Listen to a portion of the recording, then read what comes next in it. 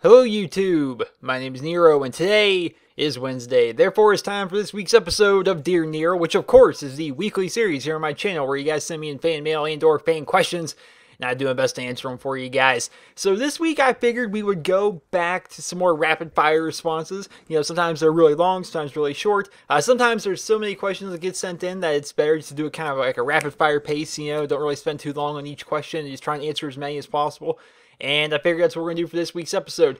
The gameplay this week, I don't have a ton. I don't have a ton. I've, I've re-fallen in love with the addiction that is Borderlands 2 for me. And there's all this new Headhunter DLC that I was yet to play, and we're playing that. And I'm trying to get up to level 72. And oh god, it's it's a whole ordeal, and uh, I can't use any Borderlands 2 gameplay for this week's Dear Nero because all the stuff I'm recording is for like a Let's Play live session thing with my friends, and so all their voices would be on the audio, and Ah, that would be bad. If you guys like to see some Borderlands 2 gameplay, let me know. Maybe next week's Dear Nero, I can record some solo stuff with Krieg the Psycho. We can have some Borderlands 2 gameplay. But if you're interested in Borderlands 2, head on over to Nero's Let's Plays, my Let's Play channel. There's a link in the description there. And you guys can see us go through the new DLCs or the new Headhunter stuff that I've been yet to play. But so the gameplay we're watching today is basically going to be just mushed all together. It's going to be like a bunch of Black Ops 2 and World of War and maybe some Battlefield 4. I don't know what the gameplay is going to be. I'm going to throw it all in there, just mush it all in for you guys, and hopefully you guys all enjoy that. But all that aside, let's start doing this week's episode of Dear Nero. So we're going to start with the first question. He's going to write. Dear Nero, I am trying to decide between the PS4 or the Xbox One. I would prefer to buy an Xbox One because I like its exclusives better, but with the amount of hate that it gets, it just makes me think. Anyway, could you tell me why you bought an Xbox One? Thanks, Nathan from Limerick, Ireland. All right, Nathan. So, I like I said, rapid fire responses, but this one, the first question, might take a little bit longer to answer. So, Xbox One versus PS4, what should you buy? I bought the Xbox One, and I made many videos talking about it. My entire theory going into it was it doesn't matter. It just does not matter. Xbox One versus PS4 does not matter at all. People are always talking about the capabilities of each console. Oh, the PlayStation's got this much dedicated something RAM versus the Xbox, which uses this kind of RAM and this, that, and the other. Basically, they perform the freaking same. Just about. And I said this, you know, like eight months before the consoles came out. I was like, guys, people are going to buy what they already have. If you're a 360 user, chances are you're going to go up to the Xbox One. If you're a PlayStation 3 user, chances are you can go up to the PS4. And for the most part, I was right. Right? That for the most part, that's accurate. And I might make another video going more in depth with that. But what which one should you buy? Neither. there's really at this point in time, at this point in time in April of 2014, there's really no real reason to own either console right now. There's just no reason. There's not that many games out. It costs a lot of money. You probably have way more games on your prior console. And truth be told, I play my 360 more than I play my Xbox One. That's just the thing. So if I had to recommend a console, I'd recommend getting the one that you already have. If you're a PS3 guy, get the PS4. If you're an Xbox 360 guy, get an Xbox One, right? That's what I would recommend but I don't recommend even, even buying either one right now. There's really no need to. There's not that many games out. You know, the stuff half the stuff doesn't work right. Like if you're a PlayStation guy, you can't record. You know, if you, on the PS4 without getting some kind of strippers and stuff like that. The Xbox One, it it's okay, I guess, but there's really nothing. There's no real reason to invest five hundred dollars right now. There's no need for it yet. So save your money for now, man. Save your money. Next question. He writes. Dear Nero, do you think Sledgehammer will make a better Call of Duty than Treyarch from Hexagon? So will Sledgehammer just come in and do better than Treyarch? So I don't think that's going to happen. To me, Treyarch is the best Call of Duty developer. I like them way more than I like Infinity Ward. It's my personal opinion. Some people like Infinity Ward more, but I don't see how that can be possible. But still, Treyarch's my favorite developer. Do I think Sledgehammer can make a better game? They might. They have the ability to, I guess, maybe. But will they? Probably not. I'm going into the next Call of Duty with very, very, very, very, very low expectations. I'm not expecting the world because you'll probably be disappointed. Just it's it's Sledgehammer Games. They've only worked on one Call of Duty game, and they didn't even develop it by themselves. They were working with Infinity Ward. It was like Infinity Ward and Sledgehammer made Modern Warfare 3, which if you guys follow my channel, you guys know my opinion that Modern Warfare 3 was the worst Call of Duty for me. Didn't like it at all. So they co-developed the worst Call of Duty in my opinion, and that's all they've done. They have no real track record So there's no reason to get hyped over the next Call of Duty game. You have no idea what it's going to be like. Hopefully, it'll be good though. Next question, he writes. Dear Nero, I'm planning on buying the Borderlands 2 Game of the Year edition and I cannot decide on which of the six classes to choose. Michael from California. So, Michael, I want to say this before you get into this whole Borderlands 2 Game of the Year edition. The Game of the Year edition comes with like basically a season pass and it'll get you the big DLC. Not the little DLC, but the big DLC. You'll get the Sir Hammerlock DLC, the Mr. Torque DLC, and the Tiny Tina DLC, and the Captain Scarlet DLC with that, but you will not get any of the five Headhunter DLCs. But they're all really cheap. They're like $2.99 for each one of the Headhunter DLCs. You can get between half an hour to an hour's worth of gameplay out of each one. To me, it's worth it. To me, the ones I've played so far, the Headhunter DLCs, hilarious, funny, good loot, good monsters, new environments. It's all great. So I, I recommend getting the uh, the Headhunter DLC. But what character do you want to use? So here's my experience. So if you're playing by yourself, Axton the Commando is pretty freaking good to play by yourself with. Like you, the, the abilities you get with your turret, good stuff. You can do pretty well with Axton the Commando. I think it's probably the easiest to use if you're playing by yourself. If you're playing with friends, I play as Craig the Psycho and he goes nuts. He might even be pretty good for solo, but he goes nuts uh, with his Buzz Axe Rampage, and you just melee all the people. So if you want a gun person, run Axton. If you want melee, run Krieg. If you're playing with a bunch of other friends, you can really use whatever you want. You can use the Gunzerker, which I, I have no real experience with the Gunzerker, so I hear the Gunzerker is pretty good. You can try him out, but I've never actually played with him, so I can't really tell you. But from my experience of people that have gotten up to level 61 or higher, Axton is really good and Krieg is very good. I think they could both work uh, for solo play. It completely depends on what you want to do. If you want to be a gun person, run Axton. If you want to be a melee person, run Craig. Next question, he writes Dear Nero, in a recent Dear Nero, you said you hated all pork. In this part's in all caps, but what about bacon? John from Georgia. So, John, I, I, I disagree with the whole internet. I don't like bacon. I think it's awful. I think it's terrible. I don't understand this entire meme around bacon being the greatest thing ever because it sucks to me. I don't like it at all. Hate bacon. Unsubscribe if you will, but I don't like bacon. Next question he writes Dear Nero, would you rather automatically have 1,000 likes or 1,000 views on every video you upload? And this person did not leave his or her name. So would I rather have a thousand likes the moment I upload the video or a thousand views? I would rather have a thousand views, and here's why.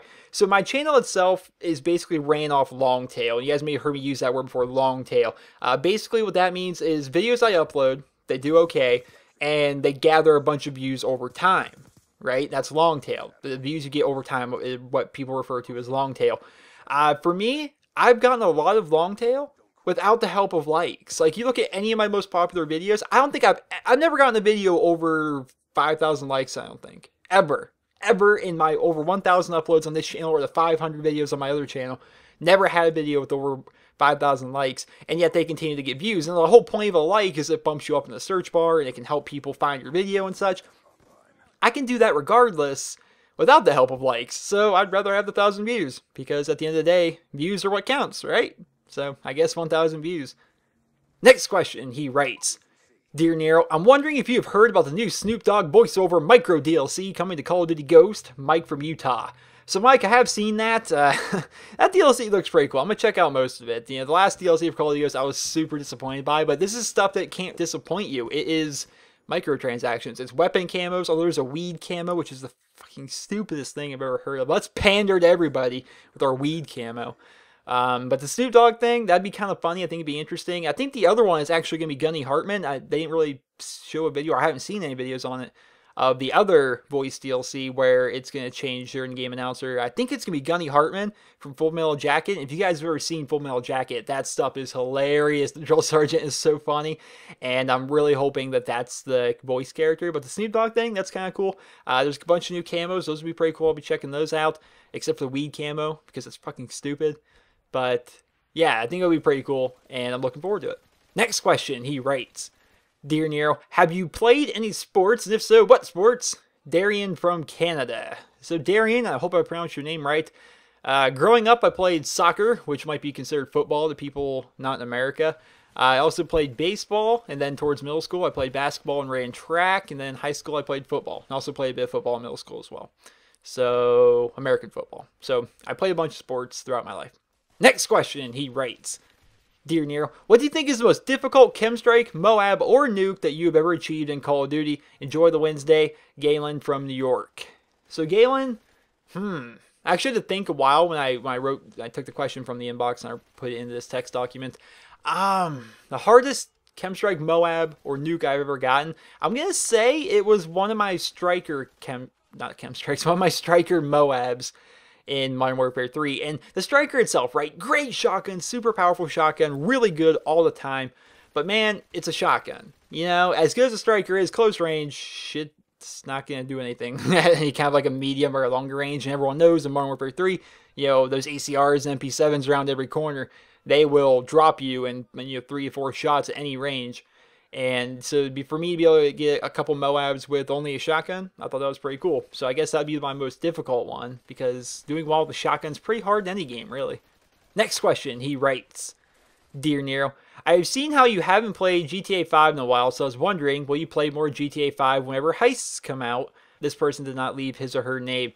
So, okay, so GTA 5. I don't want, I'm trying to do quick answers here but I could go on for days about the scumbags that work at Rockstar. So do you guys remember the launch trailers before the game was out? New GTA 5 online. It's gonna be so cool. This awesome online stock market, and you can do heists with your friends and rob banks and stuff. Where the hell are either one of those? I mean, really?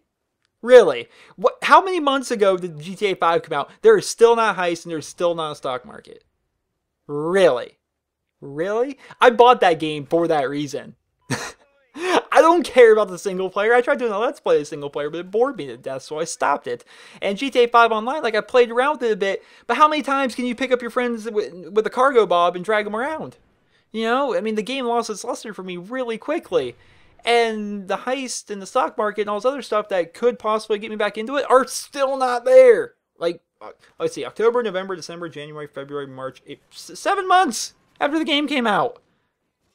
And they're not freaking Rockstar. If they didn't make Red Dead Redemption, I would love I would have just like sworn off of that company because if there's ever a Red Dead 2, I'll jump all over it and fanboy all over it. But still, GTA 5, for me, yeah, real disappointment. Next question, he writes.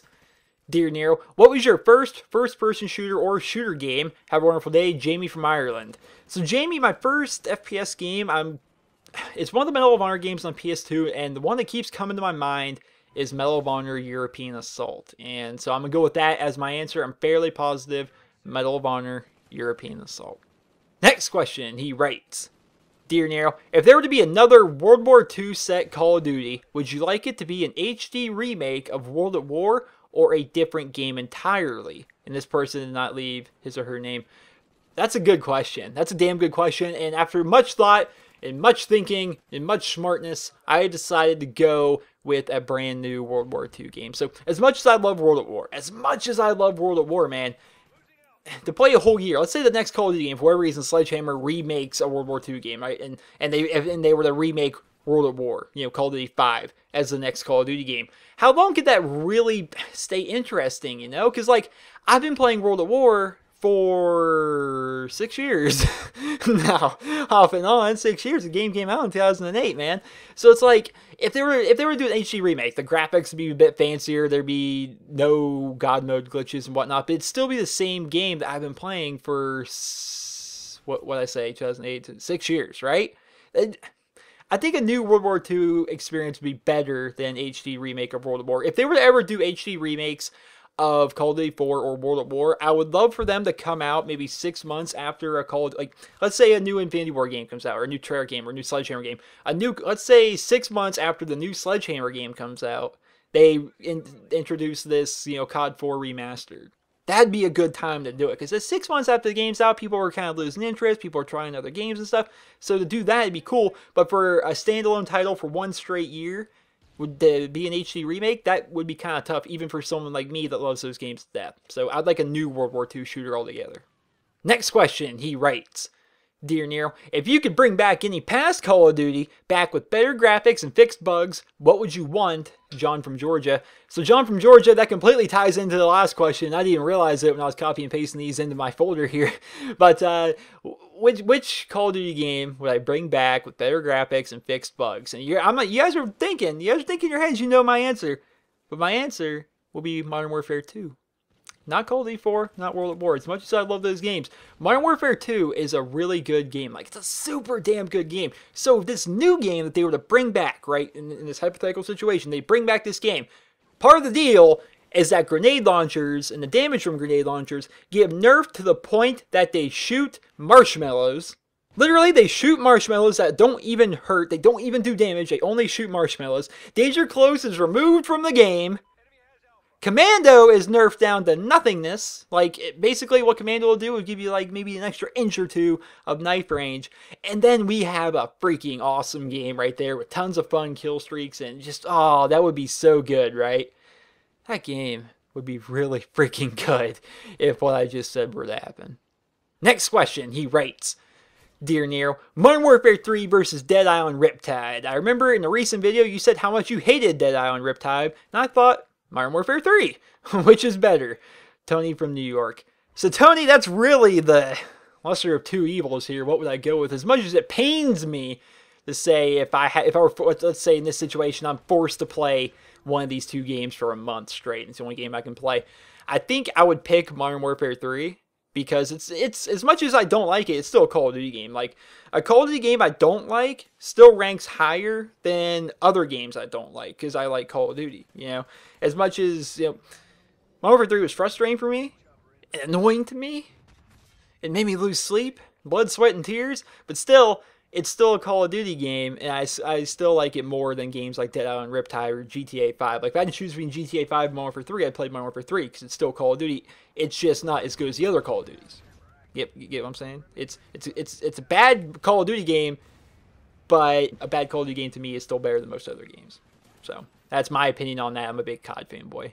Next question, he writes Dear Nero, do you use any controller mods like Scuff controllers or Control Freaks? P.S. You're my favorite YouTuber, and this person did not leave his or her name. So, do I use controller mods? No. No, no, I don't like that whole pay-to-win system. People are really trying to, really trying to implement into their Call of Duty game. Like, oh boy, look, I can jump and stuff with my special controller. Oh, look, my sensitivity is all super high because I got my fancy controller. I, why, why do people cheat? You know, back in my day, modded controllers that weren't stock controllers were looked down upon. People are like, wow, really? You paid for a modded controller? But now it's like, oh boy, everybody has them. Yay, scuffs. It's pitiful. It's really, really, really pitiful. Don't like it at all. Next question, he writes. Dear Nero, would you buy Bungie, creator of Halo's, next game Destiny? It releases September 9th. Thanks, Yao Bean. So Yao Bean, that's a cool name. Uh, will I be buying uh, Destiny? No. I don't know what Destiny is. I have no interest in it. They, as soon as I heard Bungie, I'm like, ah, so it's going to be like some futuristic Halo. And it's supposed to be like an RPG, right? I don't know. I have no interest in it. Because it, as soon as I heard like MMO, I'm like, Elder Scrolls Online is going to be my MMO. So I don't even care about these other ones. And so I've even really looked into it, man. I really have no interest in Destiny at all. Next question, he writes Dear Nero, what were your favorite games on the PlayStation 2 when you had it? Joakim from Sweden. So Joakim, I would say my favorite games on the PS2 were these SmackDown games. So you guys may these are really old. So after these came like the SmackDown versus Raw games. This was before that. This is wrestling WWE stuff, by the way. They were just called SmackDown and SmackDown 2. I liked both of those games. I think SmackDown 2 was my favorite. Uh, I used to be really big in the wrestling back in like the Attitude Era, back when like The Rock and Stone Cold and you know uh, Kane and the Undertaker and all those people were there. But now I, I don't know. So, so many people I used to watch in wrestling don't wrestle for the WWE anymore. So I was like, eh, I kind of like stopped watching when I was like 16 or 17. Next question, he writes. Dear Nero, do the skill levels of other teammates actually affect a player's performance in Call of Duty? If so, how does your performance differ when you play solo versus when you play with a party with Foxhound, Cypher, and the rest of your friends? Josh from North Carolina. So Josh, let's see here. So basis of the question is how does my playstyle change or how does the level of my teammates affect my performance? So I'm playing solo, my performance can do one of two things. I can do worse than I usually would, because I don't have people around, like I don't have friends, you know, helping me take objectives. I don't have friends, you know, using support kill streaks like we usually do, or you know, things like that. So it can either it can either make me do worse, or I do ridiculously better. See, it's a double-edged sword. See, there's a blade on each end there when you're playing by yourself. So basically, on one end, you could do worse because your teammates are really bad and you're really having trouble. If the other team is clearly better than your teammates and you're to have a lot of difficulty. But on the flip side of that sword, if the enemy team isn't very good and your teammates aren't very good, that's a recipe for success right there. That's how you find yourself a lot of those 100 plus gameplays and a lot of those, you know, quadruple chem strike things and stuff like that is the enemy team is bad and your teammates are even worse. So your teammates aren't taking any of your kills, and basically you just run in and you just kill everybody. And at the end of the game, you have like 100 kills, and everyone else in the lobby has like 10 to 12. Yeah, that's how those gameplays happen. I do prefer playing with my friends. Uh, one because you know it's a social game for me anyway. You, you, get to talk to your friends, you get to play. It's a lot more fun when you're playing with people you know and you like. But uh, like I talked about a few videos ago, it's a bit difficult to get really good scores for me anyway in Call of Duty Ghost while I'm playing with my friends. And I guess the same goes for all Call of Duty games because when you're playing with your friends, they're all good too. I mean, it's not it's not like the situation we described earlier where you're just this alpha male and you're tearing up everybody in the lobby and everyone else in the lobby is like a baby buffalo just walking around. While I'm playing with my friends, we're all pretty good, and so we're all kind of fighting for kills. And so for me to kind of distance myself from them is sometimes pretty difficult to actually pull off. So uh, how my playstyle changes when I play with my friends, I don't you necessarily need to play the objective as hard and I can focus a little bit more on kills and it's a bit easier, but at the same time, it's sometimes harder to get gameplay, believe it or not, for my YouTube channel while I'm playing with my friends as compared to when I'm playing solo. So uh, I, I still prefer playing with my friends. A lot more fun. Next and final question he's going to write. Dear Nero, on the last Dear Nero, you said you started playing Hearthstone. So my questions are, what are your favorite heroes, and what is your opinion on the pay-to-win factor in Hearthstone? Jonathan from New York. So, Jonathan, let's start by saying the only hero I've ever really had any success in Hearthstone with is the Hunter. I like the Hunter a lot. I've got a really good Hunter deck that I do pretty well with in ranked and against my friends and such. Uh, basically, the whole point of my deck is to summon as many beasts as humanly possible and just blitz them to death. and that's kind of what I do. And I have a couple of really strong taunt cards that they have to focus on while all my low level beasts continue to you know attack at their hit points and stuff. Um, I like it. I like it a lot. I'm, trying. I'm trying to get like I like it so much that I actually take all the other heroes and I just get rid of their cards because I've tried all the heroes. I don't like really any of them besides the hunter, and so I get rid of like all their cards, trying to make enough dust so I can get the legendary. I think it's called King Krush, which is an eight-eight card with charge, uh, which is just freaking crazy. Which is a legendary for the hunter deck. I'm trying to get him. But uh, the pay to win factor in Hearthstone. So I really don't think the game itself is pay to win.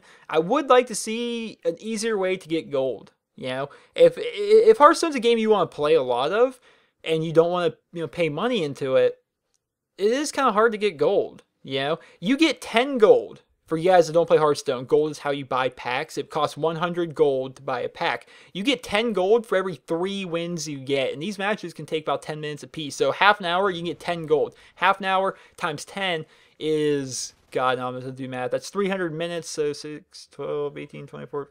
Is that five hours of gameplay for a pack? Did I do that math right? Let me know in the comments. I do my math right? Please let me have done my math right.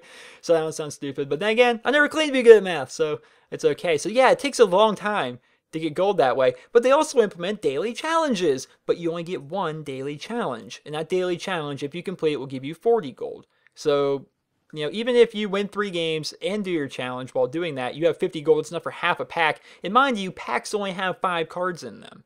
So, I wouldn't say it's pay to win, but it's definitely hard to get packs without buying them. Now, what I do is I like to do challenges off and on. Like I'll check and see what challenges are for that day, and if if it's an easy one, I'll go and do it. And instead of buying a pack at 100 gold, go up to 150 and go play the arena. Because in the arena, depending on how well you do, no matter what, you can go 0 and 3 in the arena and you'll still get uh, a pack of cards out of that. So I recommend going to arena and not buying the packs because in the arena, if you do really well and you go on kind of like a little win streak, you can get multiple packs and you know you end up saving yourself some gold that way. But I feel as though that was really long-winded. But I don't think Hearthstone's actually pay to win. I really don't think it's pay to win because most of the cards that are really, really, really good, uh, aside from like legendaries and stuff, you can just get from leveling up that hero. So uh, Hearthstone's a fun game. I recommend you guys trying it out. It's a free-to-play game. I'm sure you guys have heard of it. Uh, watch a video on it. It's a card game. It's it's pretty fun. It's pretty fun stuff. But I hope you guys will enjoy this week's episode of Dear Nero. I'm running out of time here. Don't want this video to be too long. It's going to be going up a little bit later than usual because we recorded a bunch of Borderlands 2 earlier. So That's probably why my voice is kind of shot. And this ain't helping making a long Dear Nero like this. Well, I guess it's not too long, but it's not short. I guess this, I guess this might be an average length for Dear Nero. But either way, I hope you guys all enjoyed this episode of Dear Nero. And if you did, please be sure to leave a rating where you guys feel the video deserves. And of course, like I say every week, if you guys like to have your guys' questions featured on next week's episode of Dear Nero, simply send me a personal message here on YouTube. Make the title message Dear Nero. If it's a good question, an entertaining question, and above all, a question I have not yet answered before, I will do my best to go ahead and answer it in next week's episode. Hope you guys all enjoyed this episode. Remember to rate the video. Hope you guys all have a wonderful day.